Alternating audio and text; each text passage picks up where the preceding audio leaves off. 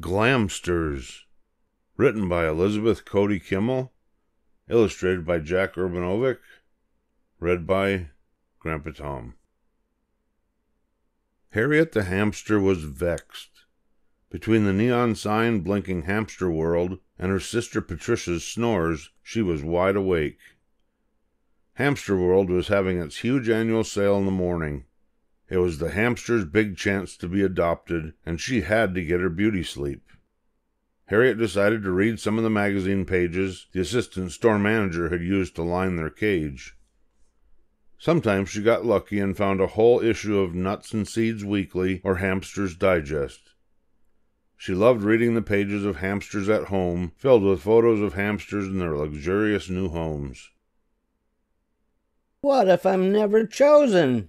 Harriet murmured. No one ever seems to notice Patricia and me.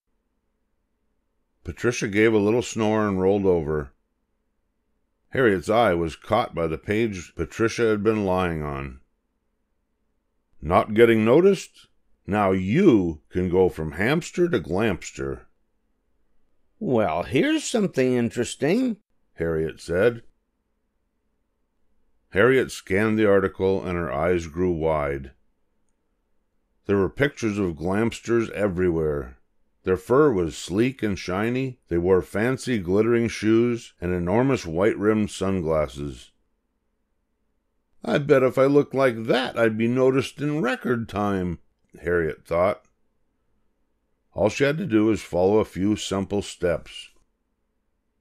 Harriet took the five minute Rate Your Glamster Potential quiz she chose her signature colors and filled out a questionnaire called Is Your Coat Dazzling or Dull? Maybe.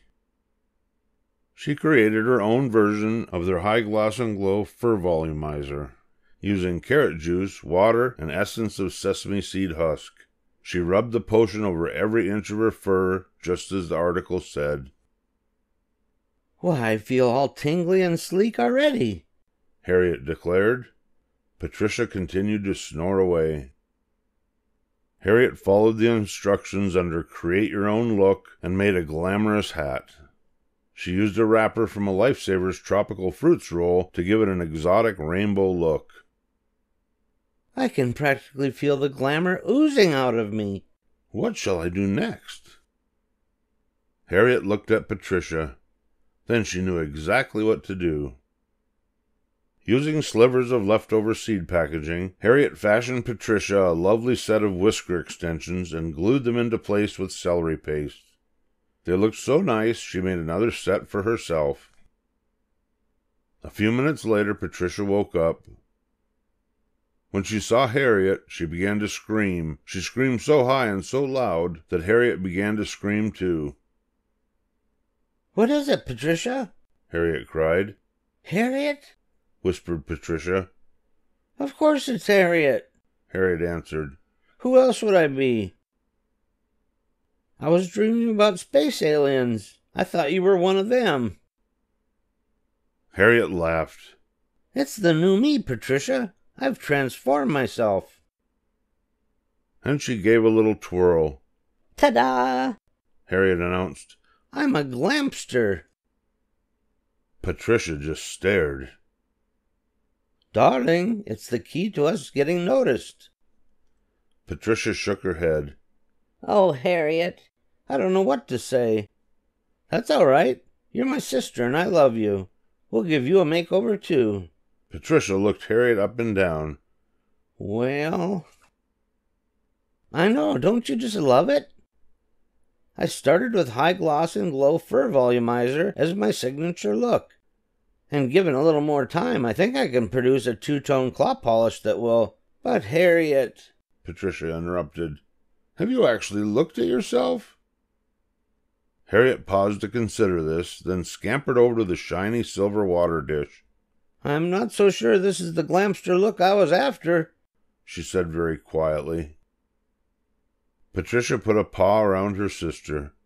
Overhead, the lights began coming on. Hamster World was opening for business. Harriet buried her face in Patricia's soft fur. What was I thinking? Harriet moaned. No one will want me now. I'm Frankenhamster. Harriet? Patricia said. Some nice little girl's going to take you home, and I'll be stuck here, and we'll never see each other again. Harriet wailed. Harriet, Patricia repeated. we've always been together. Harriet howled. That's all that really matters, and now it's too late.